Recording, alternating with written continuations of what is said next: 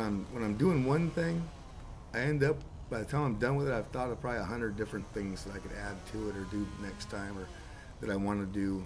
And I know now that what I with this trade, I'll never carve everything I ever wanted to carve.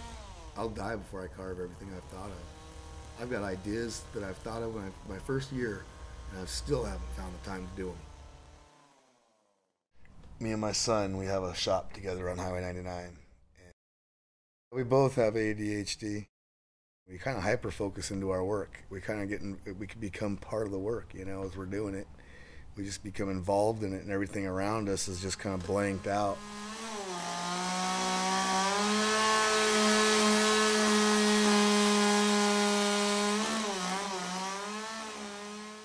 a lot of other carvers they do just there are certain little things that they do they will carve certain little types of bear and they all look the same or they all look whatever and with me i can't stand carving something the same twice. It's like it's boring.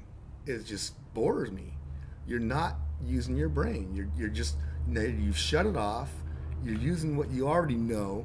It's like i tried to teach my kid you know a, a laborer just uses hands, work all day, and he's happy as long as he gets paid.